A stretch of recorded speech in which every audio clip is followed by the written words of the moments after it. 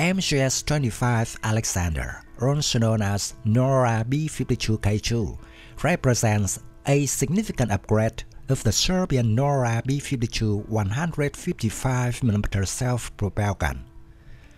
The Aleksandar features enhanced firepower, mobility, and modernized technology, making it a formidable asset for Serbia's artillery forces. This upgrade reflects Serbia's commitment to modernizing its military capabilities and underscores the importance of artillery in contemporary warfare.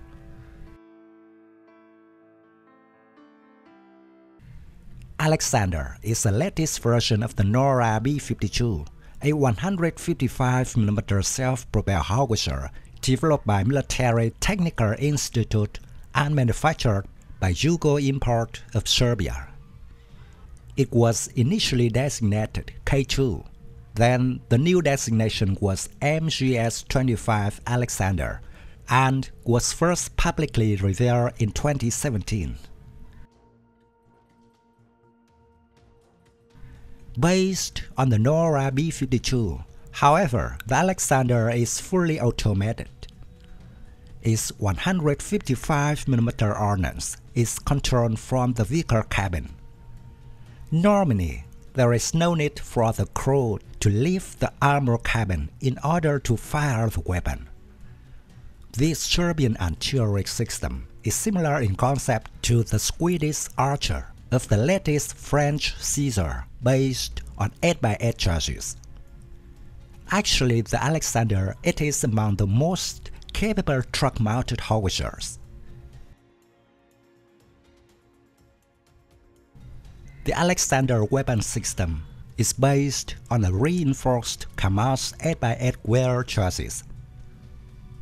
The front cabin is fully protected, providing defense against small arms fire and artillery shell shrapnel. The rear end of the vehicle integrates a 155mm weapon module and a fully automatic loading system behind the main gun.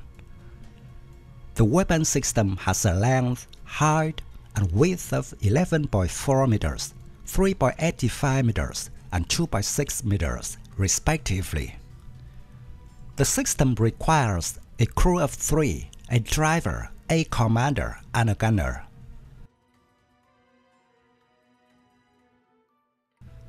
The Aleksandar barrel is manufactured in two versions. The first version complies with JBMOU and has a 23-liter chamber. The second version features a 25-liter chamber, allowing significantly greater range and firepower. The Aleksandar is compatible with the entire range of NATO 155mm ammunition.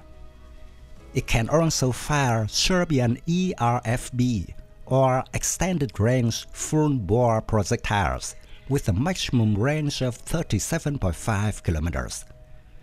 The ERFB-BB or long-range artillery projectiles with a maximum range of 49 km, and VLAP or velocity-enhanced long-range artillery projectiles with a maximum range of 62 kilometers.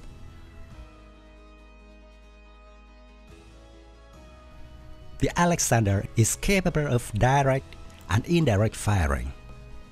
It can fire various types of ammunition, including ordinary high-explosive fragmentation shells, as well as rocket-assisted cargo shells with anti-tank or anti-personnel bomblets, smoke and illumination shells.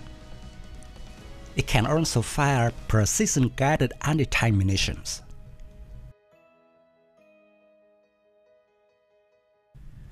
The artillery system is equipped with a fully automatic loading system located at the rear of the gun. It has a capacity of 12 shells ready to fire the system can fire 6 rounds in less than a minute. Additionally, a storage box located aft of the crew cabin holds 12 additional shells. The gun system is mounted on a rotating platform that can move 30 degrees to the right and left. In the firing position, two hydraulic jacks on either side of the truck chassis can be lowered to the ground from inside the crew cab to stabilize the vehicle. The Alexandra is capable of multiple round simultaneous impact firing. It can launch four shells at a range of 25 kilometers, each shell in different trajectories so that all of the shells arrive on target at the same time. The 8x8 vehicle of the artillery system is powered by a 400 horsepower supercharged diesel engine. The vehicle can run at a maximum road speed of 90 km per hour and attain a maximum range of 500 km. It can cross trenches up to 1.6 meters wide and is capable of floating water obstacles with a depth of 1.1 meters. This artillery system has a brief redeployment time. It can rapidly leave its firing position in order to avoid counter-battery fire. Overall, the MGS-25 Aleksandar represents a formidable asset in Serbia's artillery arsenal, offering advanced capabilities to support its defense objectives and contribute to regional stability.